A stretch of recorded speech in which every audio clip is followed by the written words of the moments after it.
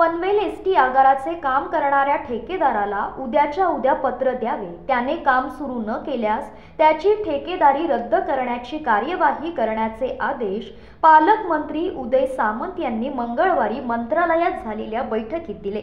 पनवेल आगाराचे काम अनेक वर्ष रखडले असल्याने त्याबाबत आमदार प्रशांत ठाकूर यांच्या मागणीवरून पालकमंत्र्यांनी एस टी अधिकारी ठेकेदार आणि महापालिका आयुक्त यांची संयुक्त बैठक मंगळवारी मंत्रालयात बोलाविली होती. यावेळी आमदार प्रशांत ठाकूर आमदार महेश बालदी भाजपचे तालुका अध्यक्ष अरुण शेठ भगत उपस्थित होते. यावेळी प्रशांत ठाकूर यांनी पनवेल आगाराचे दोन हजार अठरामध्ये ठेकेदाराने काम पूर्ण करायचे होते. कामाची मुदत पूर्ण होऊनही ठेकेदाराने काम सुरू केले नाही. त्यामुळे नागरिकांची गैरसोय होत आहे. या बांधकामासाठी आवश्यक त्या परवानगी आणणे ही जबाबदारी ठेकेदाराची आहे. मग एस टी प्रशासन त्याला का पाठीशी घालत आहे असा प्रश्न विचारला. यावेळी बी ओ टी तत्वावर उभारण्यात येणाऱ्या या आगाराच्या जागेमध्ये सीएनजी गॅसचा पंपही उभारण्यात येणार असल्याची माहिती एस टीच्या अधिकाऱ्यांनी दिली. त्यासाठी आवश्यक परवानगी घेतली असल्याचे सांगितले.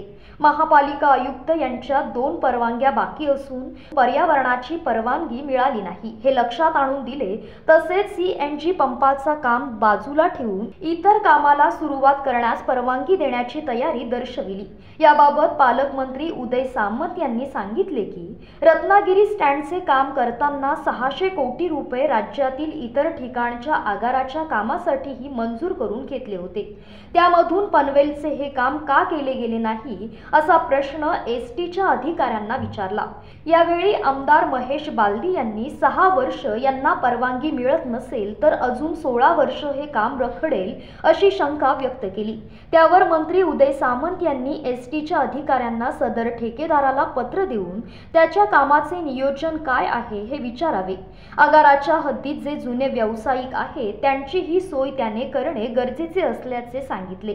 तसेच ठेकेदाराने पत्र दिल्यानंतर काम सुरू न केल्यास त्याला ठेकेदारी रद्द करण्याची कार्यवाही करण्याचे आदेश दिले आहेत. दरम्यान आमदार प्रशांत ठाकूर यांनी या विषयावर एक महिन्याने पुन्हा बैठक घेण्याची मागणी यावेळी केली.